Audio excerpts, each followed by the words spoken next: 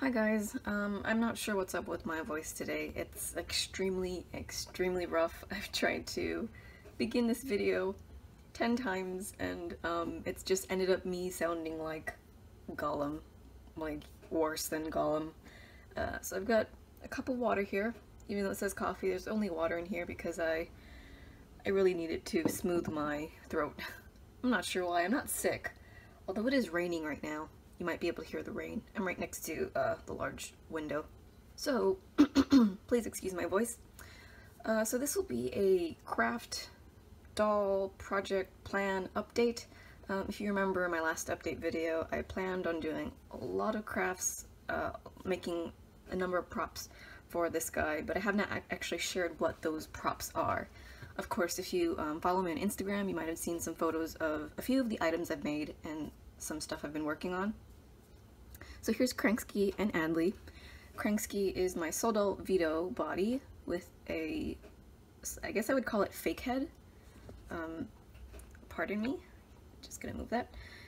Fake head, I say that because it's a rubber ball with uh, this gas mask that I made. I placed it on top of the rubber ball, so the rubber ball sits on top of an S-hook. Um, then Adley is my Withdoll Kathy head in real UV resin on a Loongsoul quarter scale body, their third version. Um, I have a prop that I made. Uh, I'll show you its size compared to these two since she's more of a typical slim mini size and he's that sort of 50 centimeter range doll. But most of my props were made for him. And one of them you can see here he's wearing, which is his warden hat. The pictures I put on Instagram, it's actually gray, but I painted it black and I'll show you here. I painted it black and I added some hardware here at the top and then there's a pin here at the side and another pin right here. And then I tried to like distress it by adding some flecks of gray around it and um, rubbing it all over. And then in the silver paint, I painted the W at the front. I consider this the front, although it, it probably could be interchangeable. And here at the back I've got no evil, which you'll see is a common theme um, in all the props I've made for Cranksky. And this silver um, edging around the brim. And then all of that is distressed as well. I think I might want to take um, some sort of tool and just start actually doing real scratches and try uh, carving some wear and tear around it just to, I, I don't think the, the paint that I buffed into it, I don't think it looks like scratches. I really want it to look like it's been through a war, essentially. Um, so that's the warden hat I've made for Cranksky. Um, I'll put this down now, because I just want to mention, I did also do some improvements to his head. Ooh, his looks crooked. I did some improvements to his head. I actually, when I looked at his side profile before, it was sitting too high. Uh, it made his proportions look strange, and then the rubber ball was making a weird shape at the back of his head. So I had to like do some modifications to the rubber ball itself. Um, and I had to fix the way it sat on the S-hook. And then if I was successful, um, I hope I was successful, I, I might have put a little photo story introduction to this video. And um, you would see he's wearing a second mask under the gas mask which is the definition of paranoid uh, in my opinion. So I had to create that second mask um, just for that reason alone but I, I, also created it because it helped me um, create a better silhouette for the shape for the side profile as well as it'll help me make future mask for him. That that underlay mask uh, that's what I'm calling it. That underlay mask will help me shape more mask because my plans are to make more gas masks for him and other types of like masks to hide his identity. He has a number of them I believe. Um, so I'm gonna maybe do another crafting month for him and focus on those masks probably. So Here's the next item, which is a megaphone, like the non-electric version. Um, so you just, you speak into this hole, the smaller one, and then it amplifies coming out the larger one. It's got that conical shape. And this is gonna sound very strange, but this was the hardest prop for me to make, was trying to get this conical shape. My math is not good. I will be the first to admit that I did not inherit any mathematical skills from my parents at all, which growing up that really, when I was a kid, that really, um, uh, I think, perplexed my parents. That I think only my younger sister has like an aptitude for math, but me and my twin sister were not very mathematically savvy, or it's not like one of our strong suits. I would definitely say it's not one of our strong suits. So, yep, it's black as well. Um, I think black and silver is his kind of color, and then there's like splashes of gold on his gas mask. There's no evil here on the side. There's a little handle for him to hold it. And the inside. And then there's no evil taped on the inside as well. So when he's yelling in your face, you can see that right through the cone. So that's another one of his props. And the third prop, which is the biggest prop, and it was actually the first one I constructed, is right here. If I can roll it over.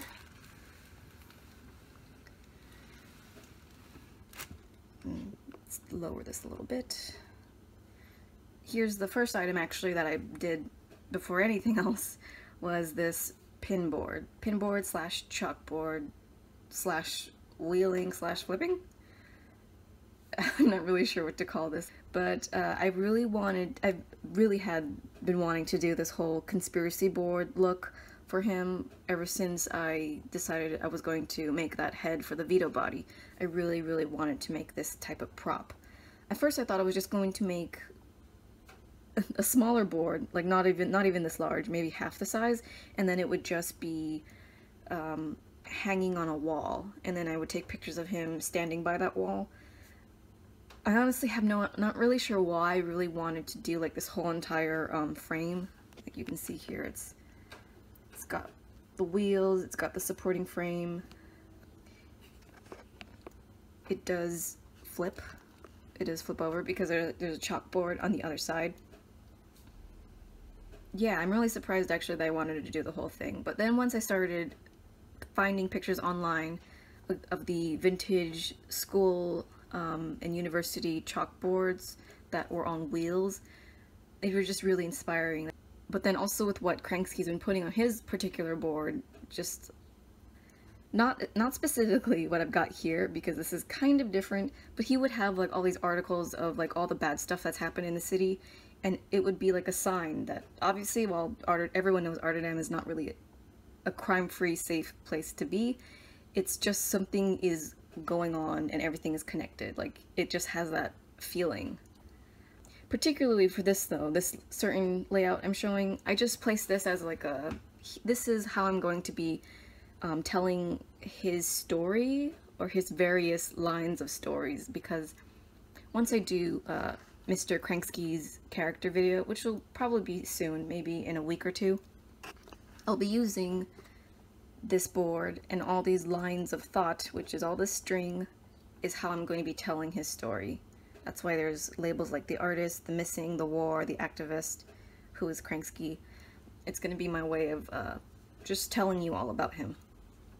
I might even continue doing some improvements to the layout of it. And I'll be doing like continuously different layouts and compositions on this board as time goes on. And I'll probably share that with you each time. But just to show you this board, I'm gonna have to make my way around here. Um, so let's see here. So you saw the wheels at the bottom and it does spin, or not spin, it does roll. And I, I really wanted this to work, but it's not really working as well as I would like. So the wheels are like coasters, they can turn, but um, I'm not sure I think on coasters, the item on top of them have to be heavy to be engaged so that they... The wheels don't like to do the 360 when they're on the ground. They can easily spin in the air, but on the ground, um, I think the weight of the board is too light for that to happen. so it has a hard time wanting to turn. Um, but, you know, it was a try. It, it almost worked, but at least, at least it does some action of rolling. And here at the bottom, I've got these coffee stirrers, which are currently pulled down. There's four of them, so two on both sides. And when I lift that up, you lift them up so you can spin it. Oops, I'm hitting the wall. This.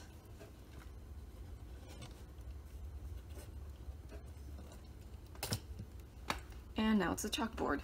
Of course, it's not an actual chalkboard. I've just painted it black in acrylic, and you can see I've only done one coat. There's the cardboard uh, streaks all over. I do need to buy some chalkboard paint and also put like some sort of smooth layer. You can see I accidentally punctured the cardboard, which is the, the backing of my cork board. So I'll be placing something smooth, like some sort of surface, and then painting that with chalkboard paint. Maybe not anytime soon, but um, hopefully in the future. And as you can see, I've got like here on the frame, there's some graffiti. I'll, I'll probably point that out as well in the story video. Um, I painted this wood, it used to be basswood.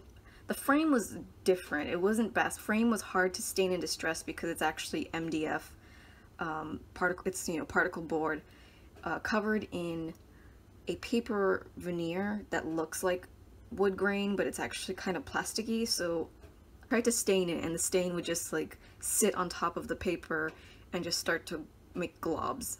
And it wasn't staining, it wouldn't dry, it, it was the bane of my existence at the time. Um, I finally distressed it using some alcohol inks, but yeah, I think it, turned out pretty well. So, let's put this back. So I am excited though, once I can put some chalkboard paint, I can start um, doodling. Maybe this is where he does his graffiti design ideas. He does it on the chalkboard side and then on this side, the corkboard side is all his plans or his research for like all the political, uh, all his political activities that he watches around the city. I'll go more into depth of the content of his board when I do his character video. But one thing I would like to point out when this video is going on 13 or uh, 14 minutes, I would like to point out the size of it. So you can see there's Adley. Let me just bring it a little closer. There's Adley. Um, this is her standing in front of it. So I would say it's a good size for Adley, who is a typical slim, slim mini type of BJD. So if she was an adult, I think this would be a good height. But my problem is Adley is a child, and the real adult are the 50 centimeter dolls, which you can see here. Here's Mr. Cranksky. Make him stand with his feet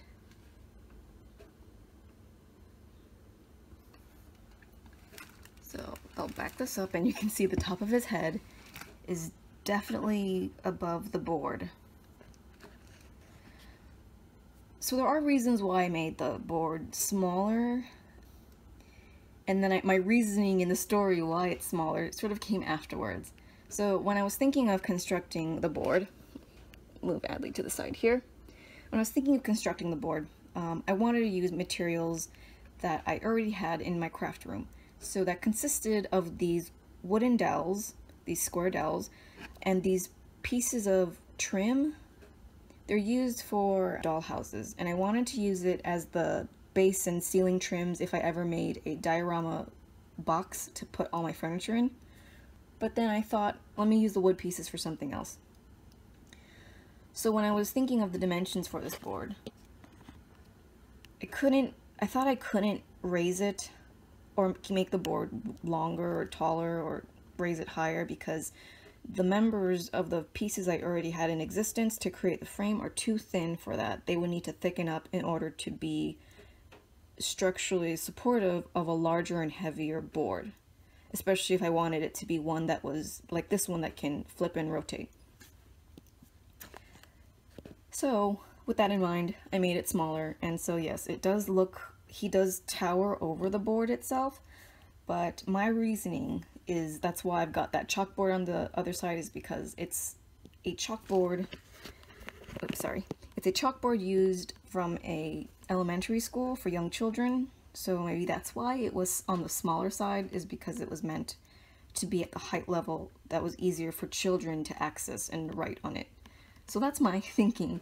And then Cranksky found this old beaten up chalkboard in the trash. Um, it's probably been retired and then he fixed it up and now he uses it in his own um, hidden secret hideaway. That's, that's my reasoning. Okay, so that is Cranksky's updates. So like I said, I would like to make more masks for him in the future. This camera is not wanting to stay still. I guess that's fine. And we can go on to some smaller crafts, I guess. I've actually been working on some stuff for Milton's desk. Like this. I don't know why. I saw the, when I was working on this board, I saw my little post-it notes and I thought, they look really empty on Milton's desk. I think they need like something to uh, hold it. And then I folded and cut off this filigree pieces and put them together to make a little stand for his table. So it just sits there and there's a pen right there. And then I wanted to make improvements to the pen holder that I had for him. So I made this little, more filigree. Here's some earring backings that are like the feet of it. And then two, I guess like ink wells so that like you can store your pen and then it gets refilled with ink and then you can write with it. That also sits possibly next to the uh, post-it note holder. So those are just some quick things for Milton's desk.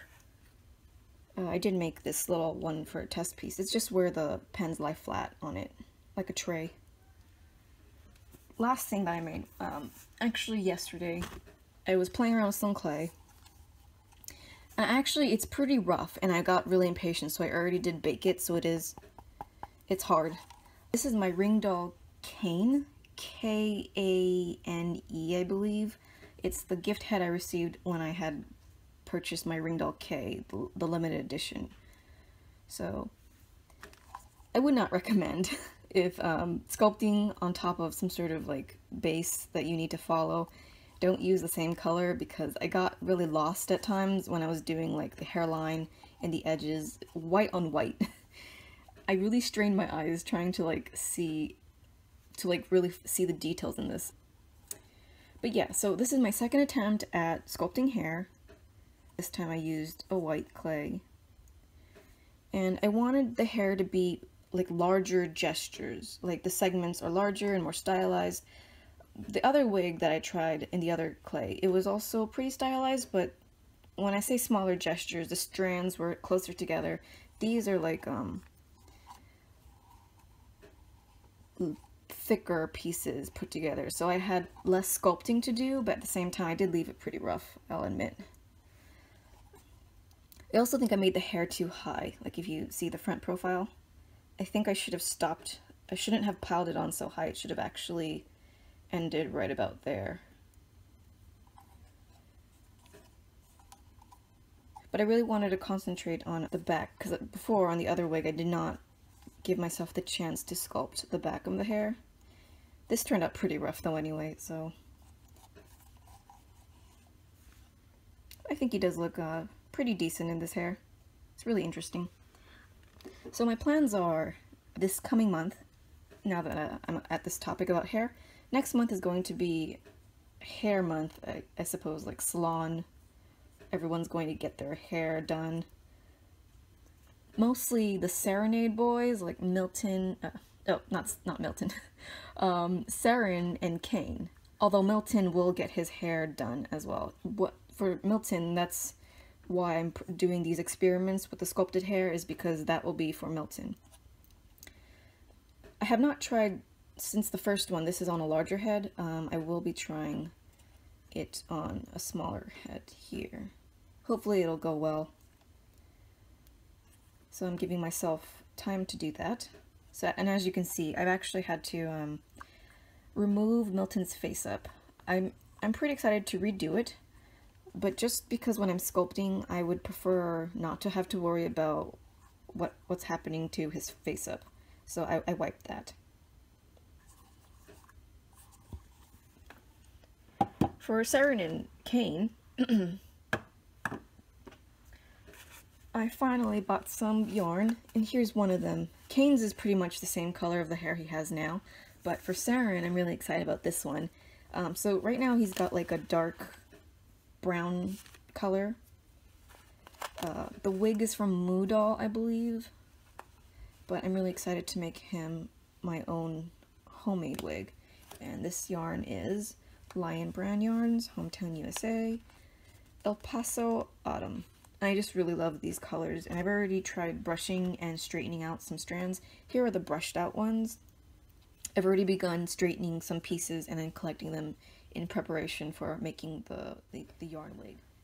Before Leroy moves completely out of the way, I actually chose this yarn because deep in my heart of hearts I would have liked if I could pick a hair color for Saren that matched Leroy's.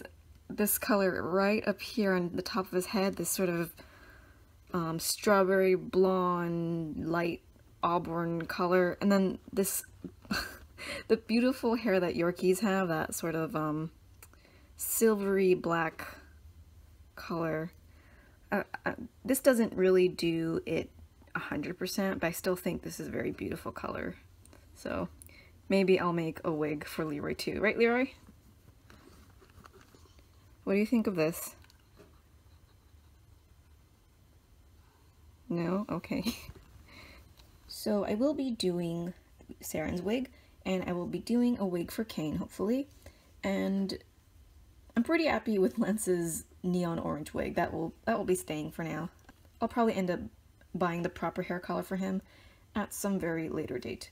So that's what this is for. I'm very excited. So I will be working on both hard wigs, sculpted wigs, and yarn wigs for next month. I am also planning to not stress out about other crafts. I'm hoping it's just going to be nothing but wigs. And I'll be taking um, breaks in between wigs to just focus on non-doll things, you know, get other stuff done. But I am pretty excited for the hair, you know. So yeah, those were my updates. I do want to remind everyone I am going to be posting up my first tutorial. It's already done. It's waiting in the queue. It'll be put up on the first Tuesday of June, and that's the magnifying glass tutorial.